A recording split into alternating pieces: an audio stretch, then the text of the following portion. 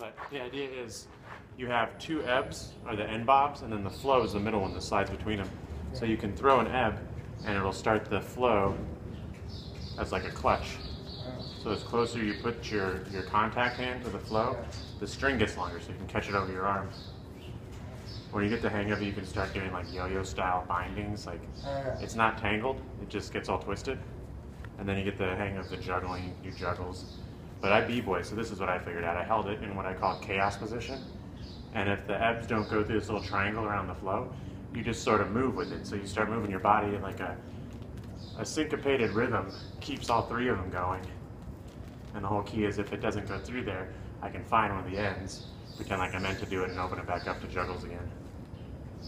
So it really is just dancing. So it's just like moving it around. I call it attached juggling if you want to find it on YouTube.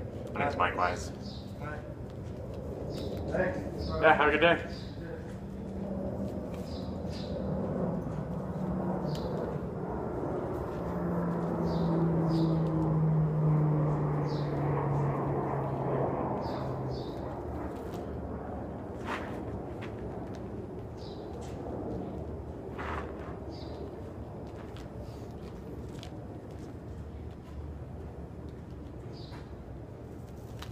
Okay.